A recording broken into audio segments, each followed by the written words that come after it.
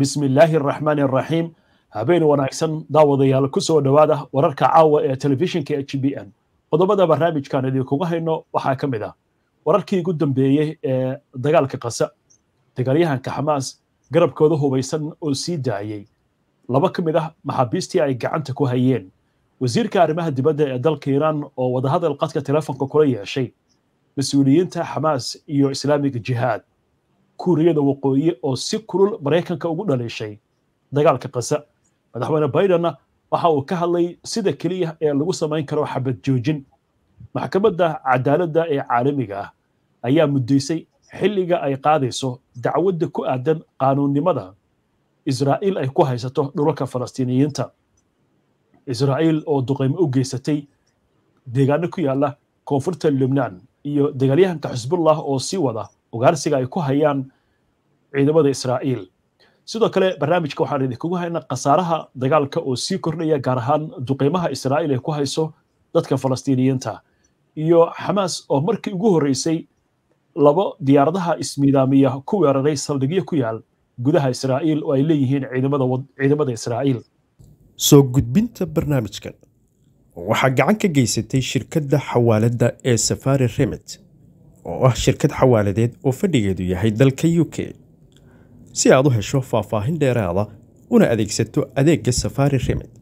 Booqo website-ka shirkadda www safari remit com maxamed maxamuud cadde oo barnaamijka isku soo duway ayaa qadka ku jira.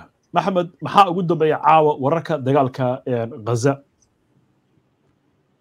afhayeenka garabka militariga ee ururka xamaas ee loo yaqaano qasaam ayaa waxa uu sheegayaa in labo lahaystayaala oo maxaabiistii ka mid ahaa bisha oktoobar toddobadeedii la qabtay oo dumara in la sii daayay netanyahu ayaa hore u diiday in dadkaasi la sii daayo maalintii jimcaha ahayd.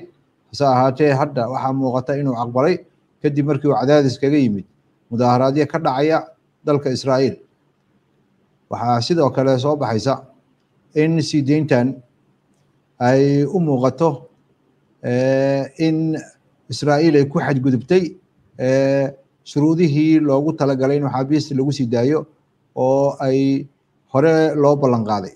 Dhinaca kale ururka xamaas garabkiisa militariga ayaa waxa uu sheegayaa fariin uu soo dhigay barta internetka in uu laba diyaaradood oo aan ku anduuriyaha lahayn weerar ay ku qaadeen ciidamada israa'iil. Bartilmaameedkan waxa uu ahaabaa leeyahay ciidamada cirka xaruntooda ku taalo hadsrim waxaa sidoo kale la sheegayaa in la weeraray saldhigga ugu weyn militariga wadanka israa'iil ee ku yaalla sinai oo gaas militariga oo ku sugan yahay. Waxaa sidoo kale israa'iil ciidamadeeda raadi ay leeyihiin u xaqiijiyey in daroolno laga shaki qabo ay soo galeen hawada deegaanada neer oz iyo in habaso israa'iil ciidamadeeda ayaa sheegaya in ay weeraradaasi fashiliyeen. Ka yimid dhanka khaza oo hore warbixinada u soo galay. Wasiirka arrimaha dibadda ee waddanka iiraan amiir cabdilahniyan ayaa waxa uu dib u xaqiijiyey in uu taageerayo dadka falastiiniyiinta ah ee cadaadiska badan uu ka haysto israa'iil. Wuxuuna sheegay israa'iil waa in ay joojisaa xasuuqa ka dhankaa dadka rayidka amiir cabdilahyan oo hadalkan jeediyey kadib markii uu teleefon kula hadlay hogaamiyaha siyaasadda ee ururka xamaas ismaaciil haniya iyo hogaamiyaha islaamiga jihaad ee zayid al nakhleh waxa uu hoosta ka xariiqay in israa'iil ay waajib tahay in ay furto xuduudka rafax ee u dhexeeya khaza iyo masar si loo soo gaarsiiyo sahayda iyo gargaarka dadka falastiiniyiinta ah oo waxyaabaha daruuriyaadka ay ka sii dhammaanayaan islamarkaana la joojiyo in laga barakiciyo dadka falastiiniyiinta ah dhulkooda. Ugu yaraan konton iyo toddoba falastiiniyiina oo gurmadka deg dega ah ka shaqeeya ayaa dagaalka ku dhintay boqol kalena waa ku dhaawacmeen ilaa ay inta duqeynta xagga cirka ee israa'iil ay bilaabatay oktoobar toddobadeeda. Sida ay sheegayso wasaaradda caafimaadka khaza afhayeen u hadlay wasaaradda caafimaadka ashraf al qudra ayaa sheegay laba iyo toban isbitaal iyo soddon iyo labo xarumood oo caafimaadka in lagu qasbay in ay shaqada joojiyaan kadib markii israa'iil ay duqeysay. Xaruntii ay shidaal ka qaadan jireen.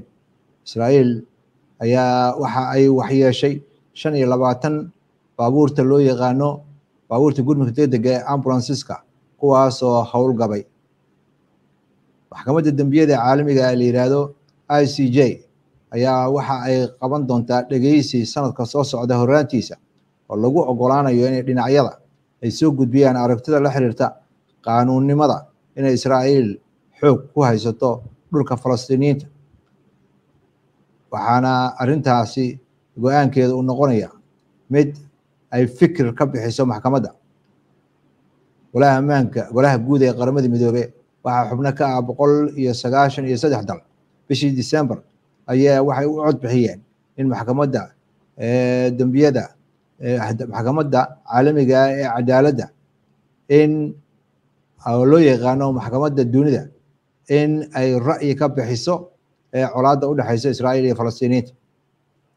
Xukuumadda kuuriyada waqooyi ayaa ku caadadanaysa dowladda maraykanka in ay ka dambeyso dagaalka hadda ka socda israa'iil iyo falastiin waxaana ay sheegaysaa dhaqdhaqaaqa ururka xamaas. In dowladda maraykanka ay tahay cidda mas'uulka ka ah masiibada ka socota waddankaasi sida laga soo xigtay ee wakaaladda wararka ee kuuriyada koofureed kuuriyada waqooyi ayaa eedeymahan waxa ay dusha ka saartay madaxweynaha maraykanka joe biden boqoshadii uu dhowaan ku tegay israa'iil iyo in israa'iil in uu ku cambaareeyey weerarkii lagu qaaday isbitaalka kaza in ay ka dambeeyaan koox argagixisa. Dowladda maraykanka ayay yidhahdeen kuuriyada waqooyi in ay tahay cidda dhibaatada horseedka uga ah bariga dhexe. Dowladda maraykanka inay tahay cidda dhibaatada bariga dhexe horseedka waxaana lagu eedeeyey sida wakaaladda wararka ee waddanka kuuriyada waqooyi ay sheegayso dhibaatada dadka maxasta loo geysanayo in ay tahay arrin guracan iyo in la gees maray xeerarkii caalamiga ah ee dowladda maraykankuna ay gees martay. Ciidamada cirka ee waddanka israa'iil ayaa ku dhawaaqay in ay isticmaaleen bambooyin cusub kuna isticmaaleen ee deegaanka kaza waxaana lagu tilmaamay bomkaasi in lagu magacaabo qanyin qaninyadii birta ahayd. Sawiro la soo dhigay barta twitterka ee hadda loo yaqaano x ayaa ciidanka cirka waxa ay ku sheegeen in ciidamo gaara oo la yidhahdo magland in ay howlgallo xagga cirka ah ka fuliyeen iskuna dayeen in ay burburiyaan bartilmaameedyo argagixiso siday hadalka u dhigeen iyo qalabkoodii ayagoo isticmaalaya motoro cusub oo loogu magacdaray qaniyo bir ah. Videoga ayaa muujinayay qori nooca motorka loo yaqaano oo afkiisa uu yahay boqol iyo labaatan millimiter oo ay xabada ka dhacayaan. Xogayaha arrimaha dibadda ee waddanka britain ayaa asna dhankiisa sheegaya in israa'iil in si dhaqso ah loogu xaqiijiyo inay nafteeda difaacdo iyo ammaankeeda. In ay iyadana dedejinayso in dhibaatada haysata dadka falastiiniyiinta ah laga dulqaado.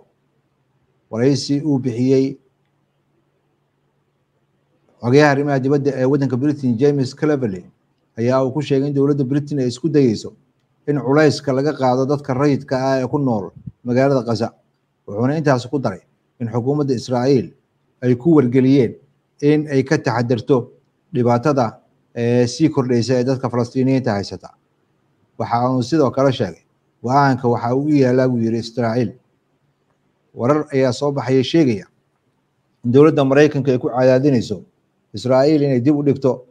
Dagaalka ay sheegtay in ay lugta ku gelayso deegaanka kaza hase ahaatee wadaxaajoodyada lagu sii deynayo dadka rayidka ah ayaa ururka xamaas ay sii deynayso ayaa aqalka cad ee maraykanka afhayeen u hadlay waxa uu ku sheegay in ay tahay go'aan u yaalla israa'iiliyiinta waxa ay arrintaasi ka yeelayaan.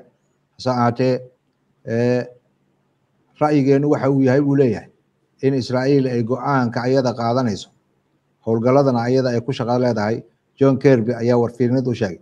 Wararkii ugu dambeeyey ee hadda soo baxayna madaxweyne biden oo warbaahinta la hadlayay ayaa la weydiiyey waxa laga yeelayo xabad joojinta. Waxa uu yidhi marka hore xamaas waa inay sii daysaa dadka maxaabiista ay haysato.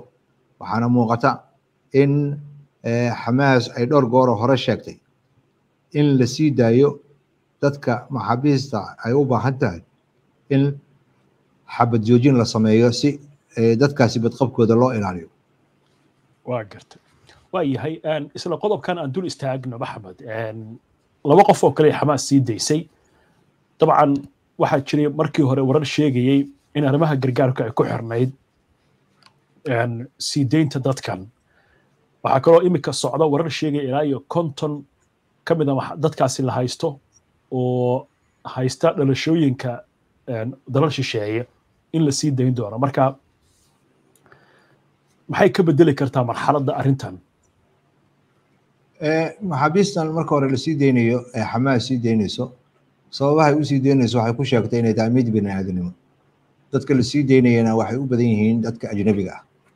Saraakiisha iyo askarta israa'iil laga haysto kuma jiraan dadka la sii deynayo dadka laga wada hadlayana kuma jiraan.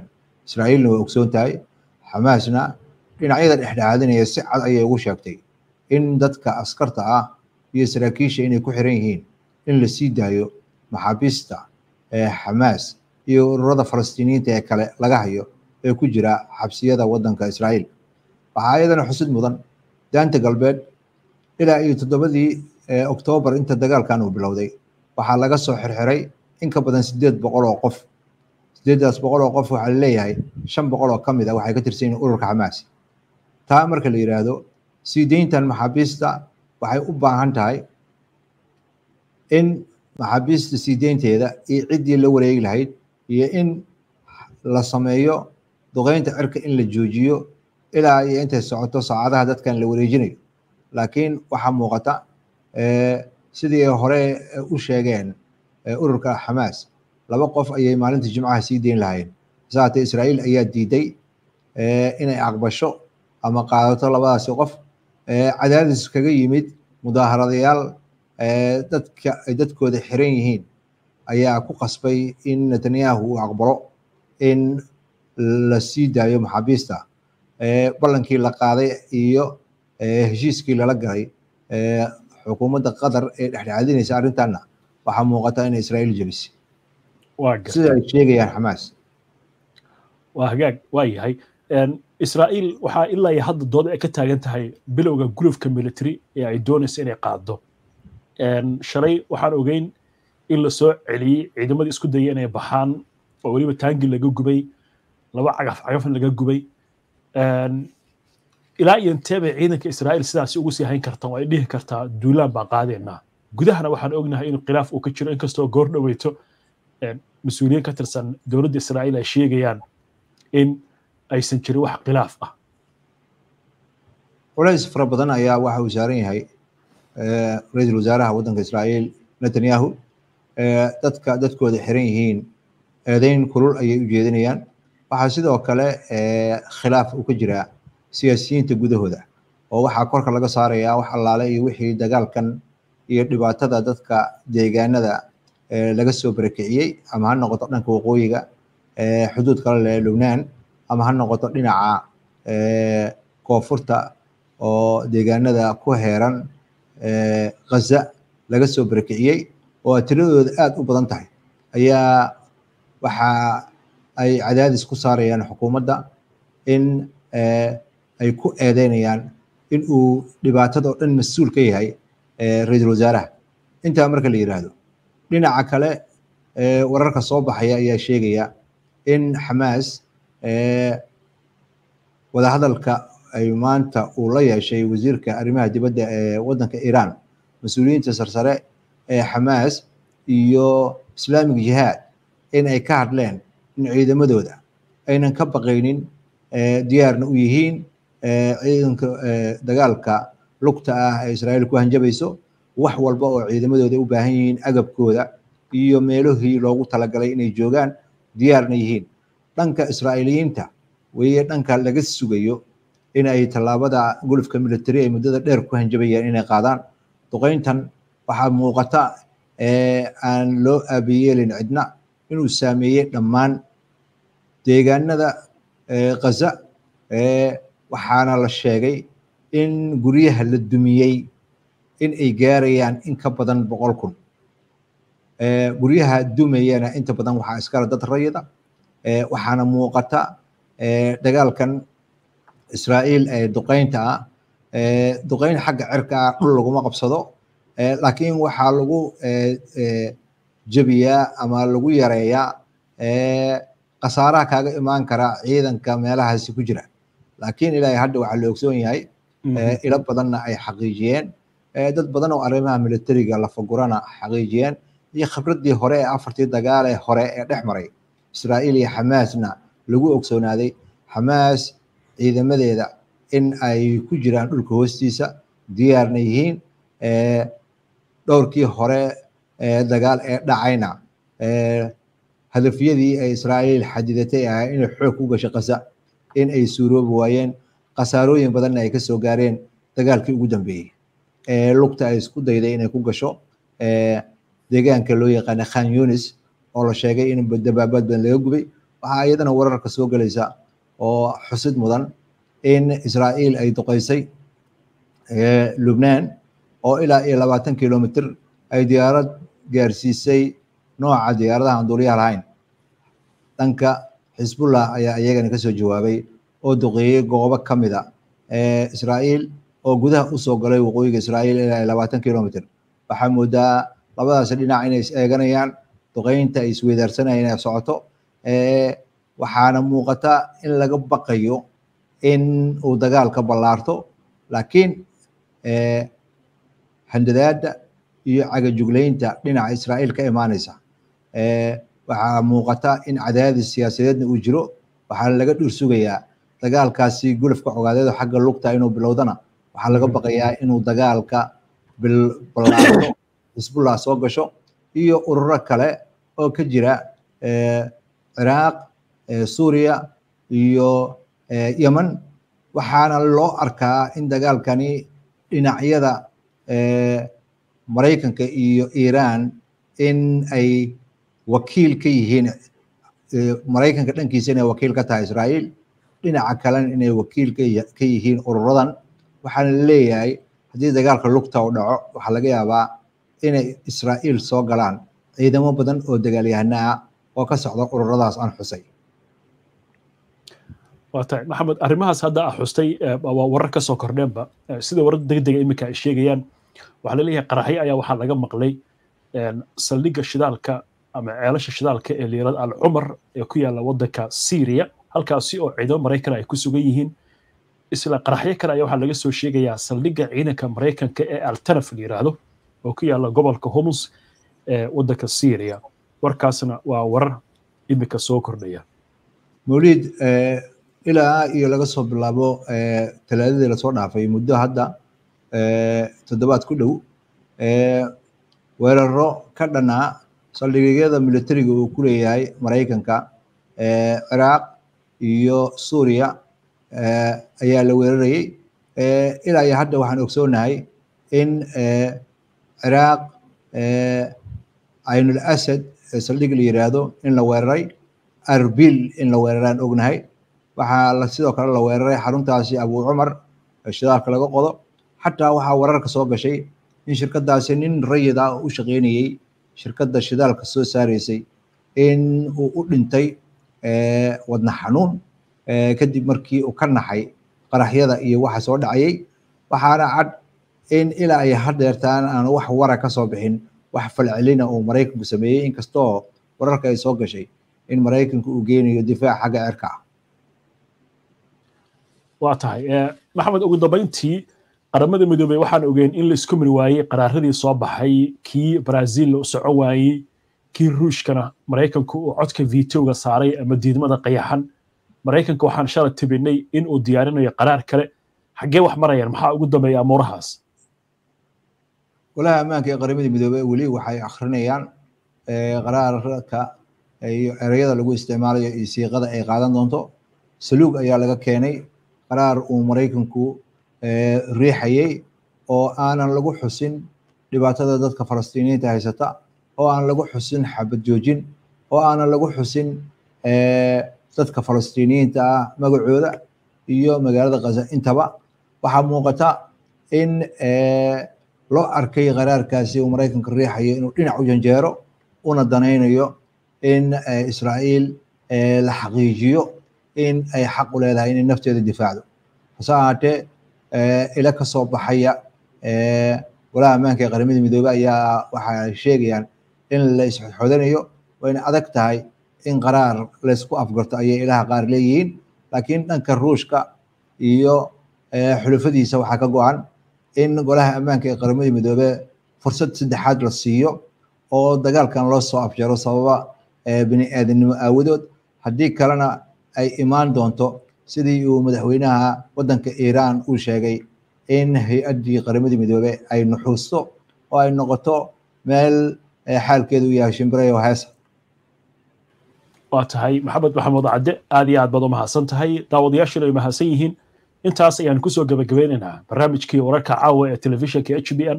Waxaase naga xasuusa haddii aad ka cusubta ama horey aadan ugu xirayn bogogeena bulshada ku soo biir si aad u hesho wararka iyo barnaamijyada iyo macluumaadkan. Waa inuu barnaamijyada xiga inta ka horeysa nabadgelyo waa imaara luxury homes limited. Halkii aad dhegaysiyo hoygaad u baahnayd haddaan kuu hayaayo waa himiladaade ku soo hiro imaara luxury homes limited. Anigoon waxba hayn intaad haybin lahayd. Haddaba kaalay hoy ka carbuuno. Imaara luxury homes limited hoygaaga quruxda leh halka aad ka helaysaa waa nairobi. Ee ha ka maqnaan imaara luxury homes limited. Halkudhigga imaara luxury homes limited. Waa hoygu waa muhiime hanti yeelo. Xafiisku waxaa ku yaallaa lenana road hillingam nairobi kenya. Kala xiriir telefoonada shaashadda kaaga muuqda